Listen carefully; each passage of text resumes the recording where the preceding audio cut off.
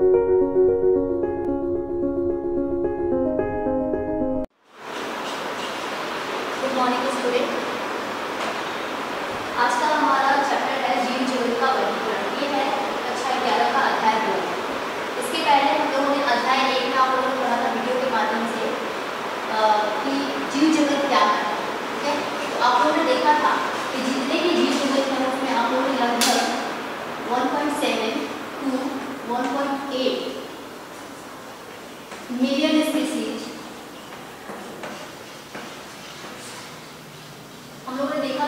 था में 1.7 to 1.8 million species ज्ञात ठीक है? ये ज्ञात है अभी इससे ज़्यादा हो सकते हैं, लेकिन इतने ज्ञात तो इनको कैसे इनकी स्टडी कैसे की जाएगी?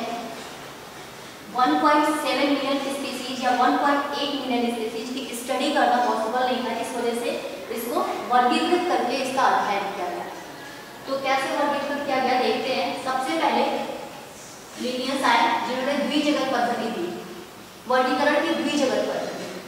इसका मतलब ये कि इन्होंने जितने भी एनिमल्स हैं, जितने भी जीव जगत में जितने भी प्राणी हैं या फिर वो प्लांट है, चाहे एनिमल्स हैं, उनको दो जगत में विभाजित कर दिया और वो क्या थे?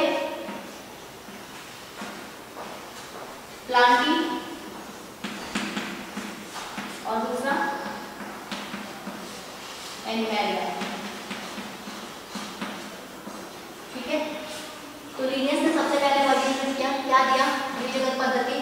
पहला था प्लांटिंग यानी कि जितने भी प्लांट के तरह दिखने वाले, जितने भी स्पीसीज थे, वो इसके अंदर और जितने भी एनिमल की तरह दिखने वाले स्पीसीज थे, वो इसके अंदर यानी कि पादप जगत और जंतु जगत।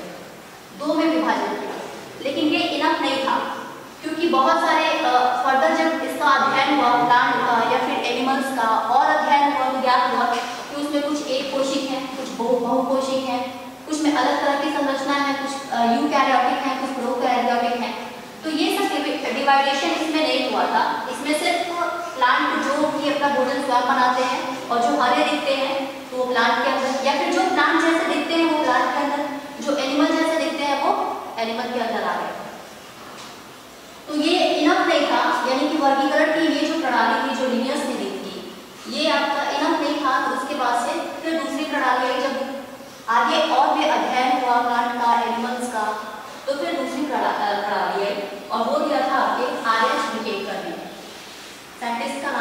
Spanish,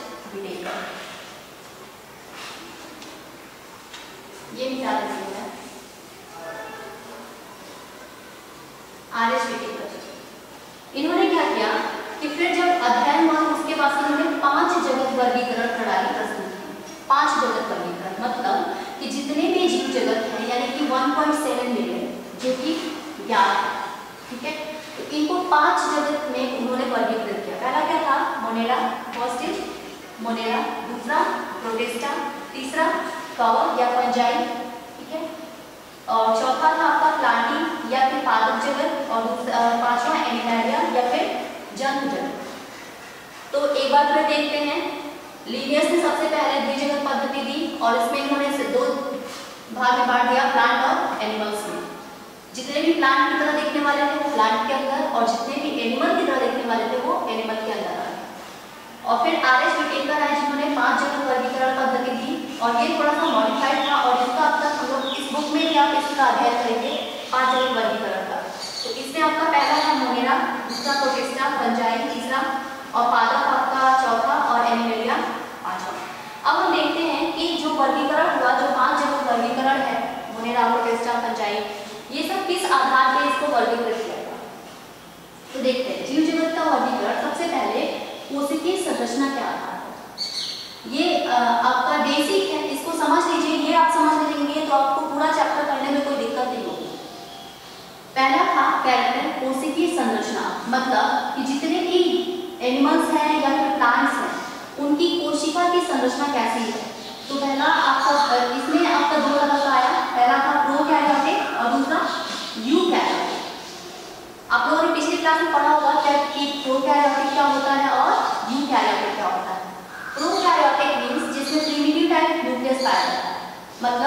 केंद्रक जो होता है, वो अपनी प्रारंभिक अवस्था में होता है। इट मीन्स यहाँ पे आपका क्या होता है, केंद्रक कला नहीं पाई जाती है। और यू क्या कहते हैं जो केंद्रक होता है, वो फुल्ली डेवलप होता है। सुविकसित केंद्रक इसमें पाया जाता है। इट मीन्स यहाँ पे केंद्रक कला उपस्थित होती है। ठीक है? यहाँ पे उपस्थित होते हैं, यहाँ पे उपस्थित होती है। तो ये आपका हो गया प्रो कैरा एंड यू कैरा पहला कैराबिक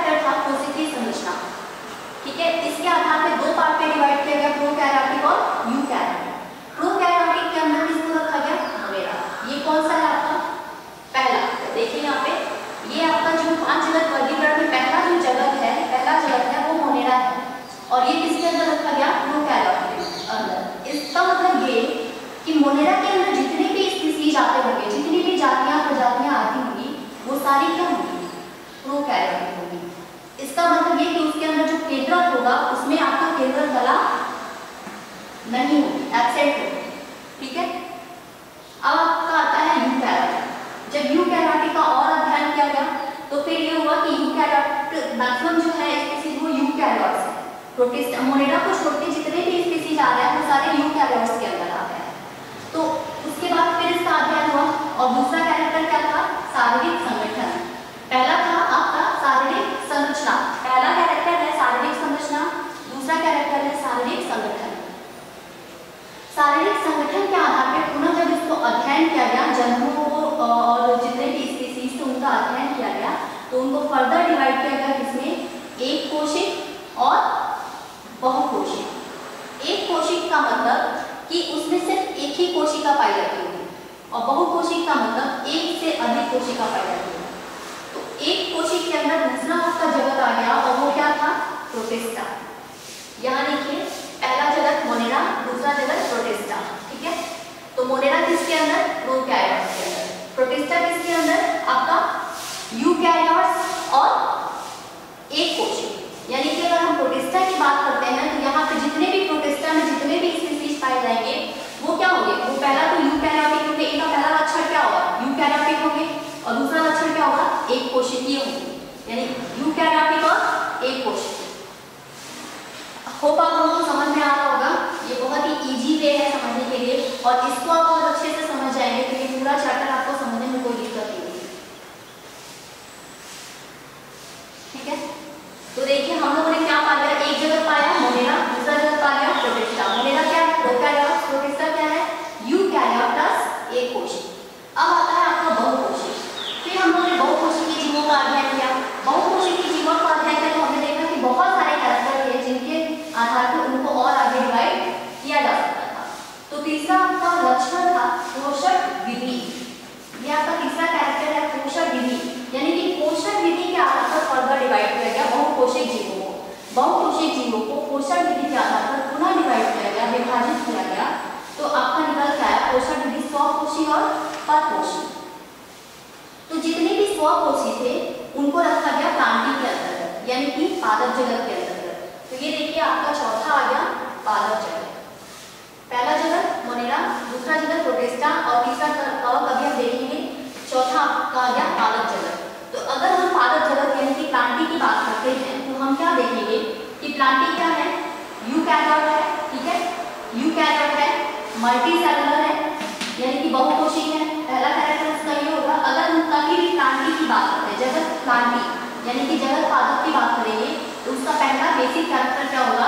कि प्लांटी में जितने भी स्पीसीज आएँगे वो यूकैरियोटिक होंगे बहुकोशिक होंगे और स्वकोशी होंगे, यानी कि अपना भोजन स्वयं बनाते होंगे अब आपका आता है फिर दूसरा आपका कैरेक्टर है परपोषी स्वकोशी यानी कि प्लांटी और परपोषी अब परपोषी का भी अगर देखा गया परपोषी के अंदर जितने भी स्पीसीज आ रहे थे तो उनको और भी फर्दर उनके गुणों के आधार पर डिवाइड किया और उसका लक्षण क्या था पोषण विधि का तरीका पहला ये था यहाँ पे पोषण विधि मतलब कि कैसे पोषण हो रही है स्वकोशी है और परपोषी है और फिर आया पोषण विधि का तरीका मतलब जो भोजन ले रहे हैं उनको कैसे कर रहे हैं मतलब कैसे ग्रहण कर रहे हैं। उसके तरीके के आधार पर फिर उसको डिवाइड किया गया तो डिवाइड किया गया तो पहला तरीका क्या था? अवशोषण, और दूसरा क्या था? अंतर्ग्रहण।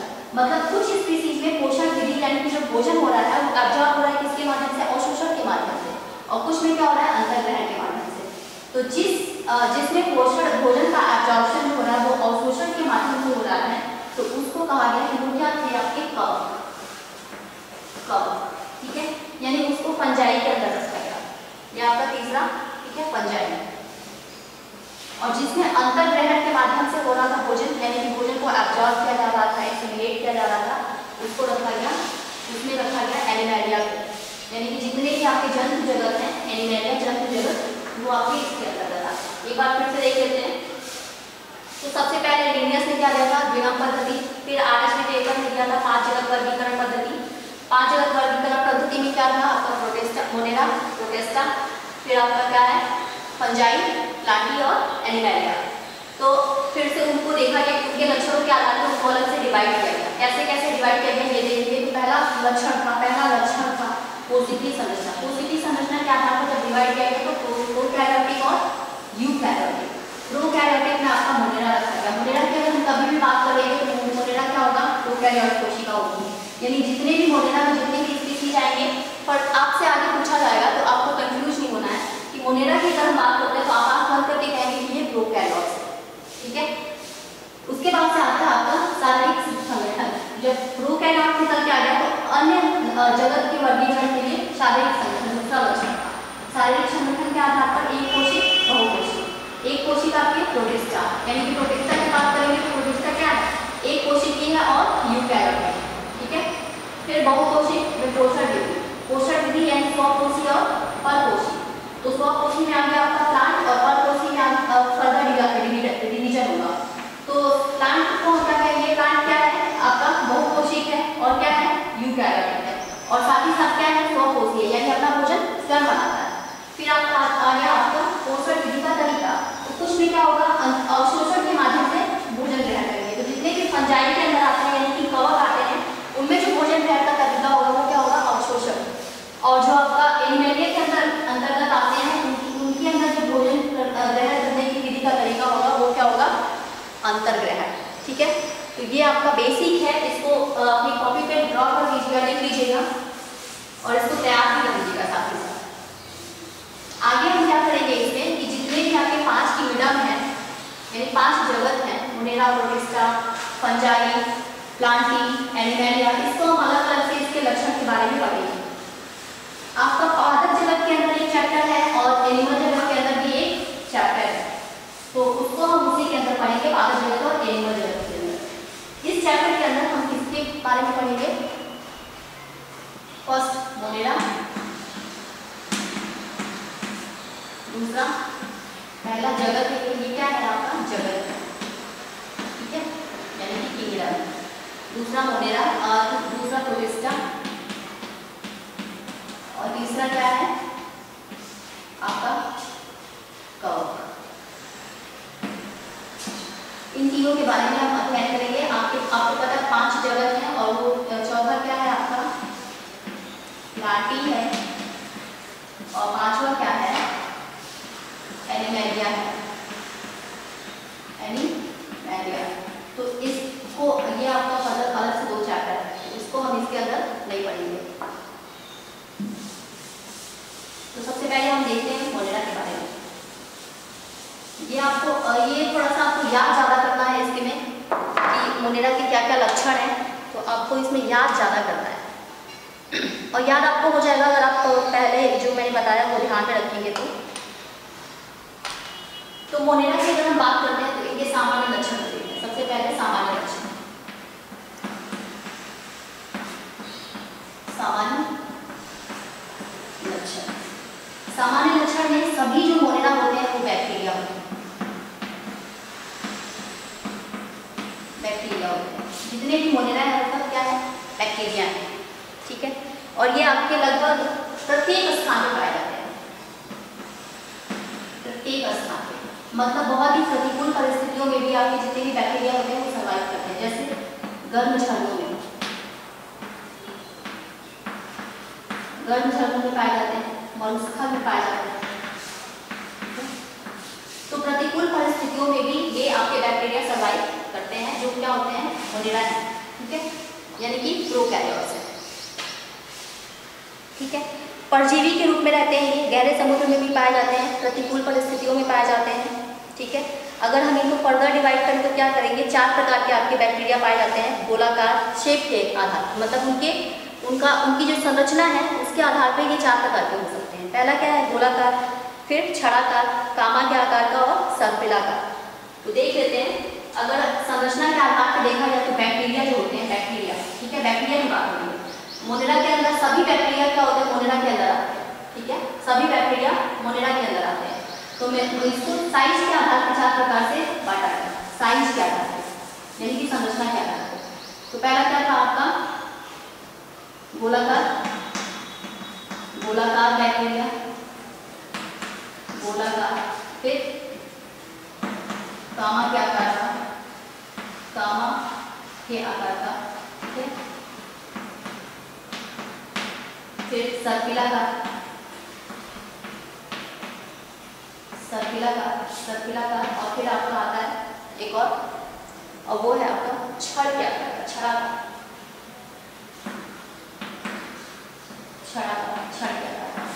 तो ये बस आप जब बैक्टीरिया का स्ट्रक्चर देखेंगे, आपके बुक में दिया है, ये सारे कैरेक्टर्स आपके बुक में पेज नंबर 17 पे देखेंगे, एक तालिका दी है, पाँच जीव जगत वर्गीकरण के लक्षण। ये आपका बहुत ही इंपॉर्टेंट है, इसको ज़रूर पढ़िएगा, अच्छे से अगर कोई डाउट होगा तो पूछ लीजिएगा। मोनेरा जगत में देखिए, कोकाई दिया है आपका सर्कुलर बैक्टीरिया के अंदर। एग्ज़ाम्पल है, कोकाई, इस टाइप का कुछ, ठीक है? पेज नंबर 18 पे दिया है स्ट्रक्चर आपको बना लेंगे इसको एक एक करके। ये समझा देने के बाद से इजी हो जाएगा आपको पढ़ना। फिर आपका आता है बेसिलाई बेसिलाई जो है, वो क्या है आपका? बेसिलाई जो आता है आपका, छड़ा का बैक्टीरिया होती है, ठीक है?